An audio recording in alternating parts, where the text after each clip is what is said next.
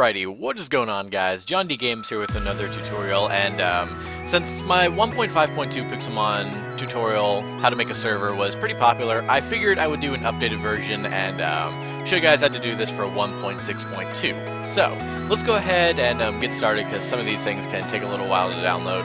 All of the links to this tutorial are in the description. And this one I guarantee there's no there's not going to be any of that confusing run.bat files that there were last time. Only if you want to, and only if you want to allocate more memory. So that that'll be later ahead. So let's go ahead and um, go ahead and download some Pixelmon first.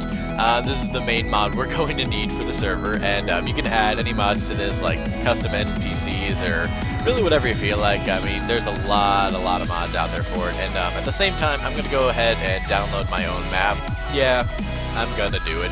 And then um, also I'm going to go ahead and download Forge. So a lot of stuff downloading, and I'm actually going to download the 1.6.2 installer. This version specifically is um, 9.10.0.828. So that's the version I'm using. If there's a more updated version, I would probably recommend using that as well. So, alright, so download my map, that can close out, and then um, let's go ahead, download Pixelmon, da, da, da, preparing download, and then wait for the ad fly. La da da. I have to wait twice for these. I don't even get this blue screen one. It's not even advertising anything, and I don't even have ad blocker on. It's weird.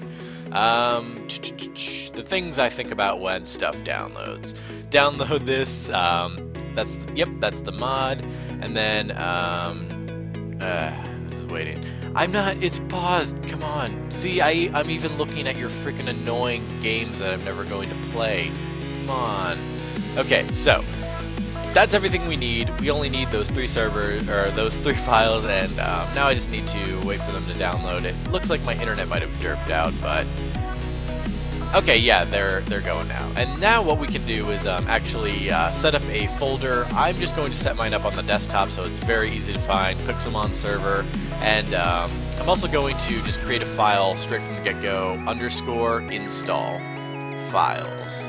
Alright, and then um, this is just going to this is just going to hold all of these files so I don't really get them confused. So I'm just going to drag them in from Chrome and um, I'm going to extract this right here. I'm going to extract the map and um, extract all Okay, so it'll extract them locally, and then um, also I'm going to go ahead and run the Forge installer while Pixelmon finishes up. And now what you want to do is you want to um, go down to install server, and then you want to hit the little three dots down there, and you want to actually look for where your stuff is. You want to look for where your server is. And uh, mine's on the desktop, so I'm just going to select my Pixelmon server folder, open that, and then um, just hit OK. It'll say there's stuff in the directory. Yeah, I know. And now what it's doing is it's downloading Minecraft Essential stuff. So you see that there is the vanilla server right there, and then it's installing the standard Forge library files. It's all doing pretty good. And then right here we have what we're going to be running.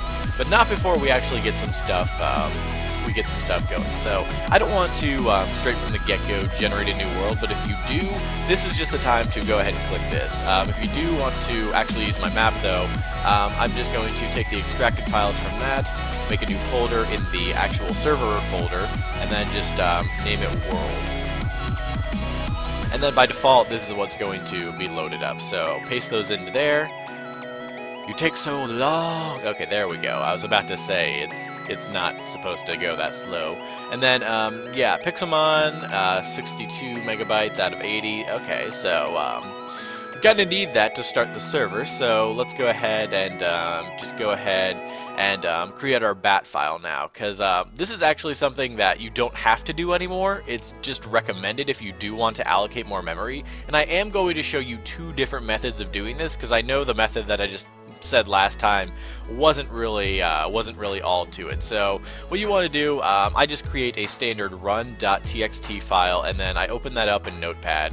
And then um, this isn't like any fancy Notepad program or whatever. Um, what I want to do is I'm going to um, link to this in the uh, I'm going to link to this in the, the, description. This is basically just what's on the Minecraft download page on Minecraft.net, and you're able to um, actually find your your little batch stuff right here.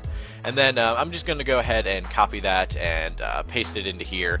And um, here's where you can actually do things multiple ways. Well, first, this is what you need to do. You need to copy this right here, this is what you're going to be running. You want to go ahead and copy this navigation, or this file right here. I would just leave it unnamed and that's just less confusion. And then paste it over the Minecraft server.jar right there.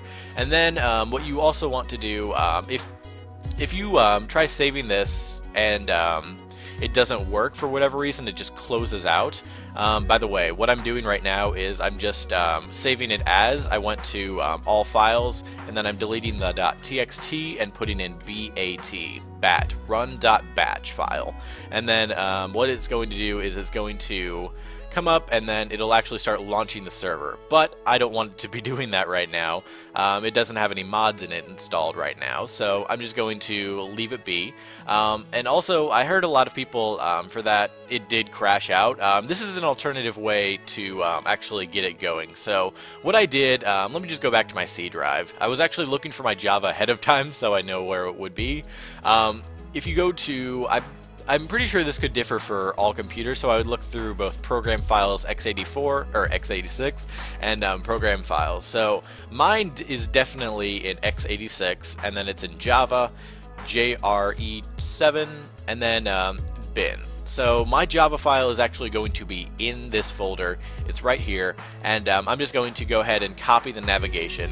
What you can do as an alternative, um, if for some reason it doesn't recognize Java for some reason, um, you guys can just paste in the navigation in quotations and then um, backslash java dot exe backslash or no not backslash end quotation and then that is going to make it so it pretty much has no choice but to find your Java if you manually navigate to it. Because I'm pretty sure the um, just if you put Java at the front, it's only going to apply for people who have Java 7 installed, and I don't know how common that is. I know a lot of comments on the last tutorial was about that, so I just wanted to address that. And now Pixelmon should actually be installed. Hooray! Okay, so let's go ahead, drag that into the installed, and then um, we can go ahead, extract now we wait for this, and then, um, yeah, um, let's see, what else do I need to mention? Um, the bat file, I took care of that. Um, okay, let's go ahead and um, copy this in. So you just want to copy these folders into the exact same place as your run.bat, your world folder, your mods, everything. Um, right here, this has the Pixelmon installed, and then it has some standard database files that Pixelmon uses. And now what you can do, you can either um, just for the sake of showing you, I already showed you the run.bat works. Um, I'm going to show you what happens if you just launch this. So if you just uh, right-click Minecraft Forge Universal, it's actually going to bring up the vanilla GUI, and it's going to just do its thing right now. It'll pop up in a second.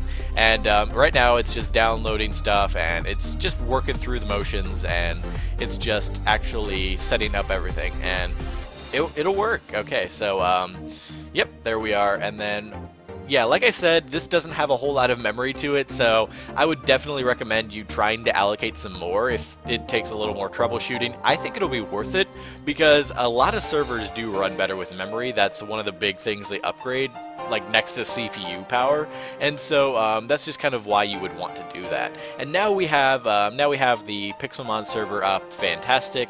And then um, if we actually launch Minecraft, it is going to be doing that. Let's go ahead and show you how to actually get people on it. So the way that I would recommend, the way that I normally do it, is through Hamachi because it seems to be very reliable. I don't think I have uh, I don't think I have a static IP. I think mine's a dynamic, and I don't really know how to change it. But um, I would honestly recommend Hamachi. It was it's pretty easy. It's really pretty easy, and um, if people join your network, that'll be good. Or you could put this on a self-hosted server, like um, just on one of the multi-craft hosts or whatever, and um, you can actually host it via that. It's pretty easy. And then um, also you could do um, a lot of port forwarding stuff. Um, those are just three ways that you could host a Pixelmon server. Um, I'm not even going to get into port forwarding because it is pretty bad. It's not all that good. So, um, yeah, that's pretty much it. Um, I hope you guys enjoy your Pixelmon server, and um, yeah, I will see you guys next time.